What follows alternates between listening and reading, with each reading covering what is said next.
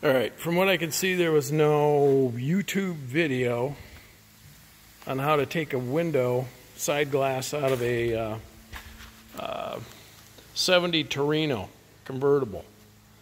Um, so I looked around and there was none, so I guess I'm the first one to do it. Actually, it's pretty simple. Uh, I kind of figured it out fairly quick. Uh, if you got the door open like I do here, is basically there's not much magic to it. You got these blocks. If you look on the inside, these guide blocks are pretty big, pretty heavy. There's one to the rear of the door, as you can see, and there's one to the front.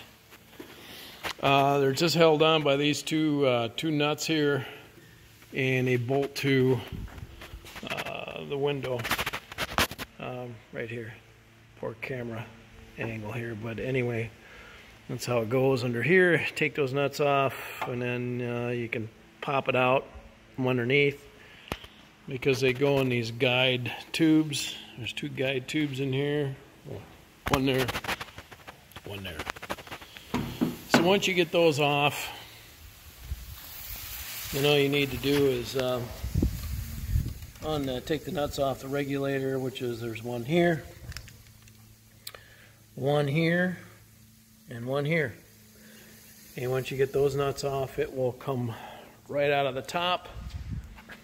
There is a stop right here that you gotta maybe have to tilt it a little bit to get it through this uh, slot right here. That's it. It's pretty simple. and it takes about 20 pounds of weight off this door. So um, this is going, going to get redone primer on the other side. It's a 70 Torino, and there it is, sitting here. Uh, it's a pretty solid car, basically. I ain't to show you the whole thing, but uh, it's pretty solid. Solid, a little dirty. Quarters are nice and straight. And these are the doors for it, and I already got the fenders, need to be primed yet, and the hood is done, so, but anyway, that's how you take these windows out.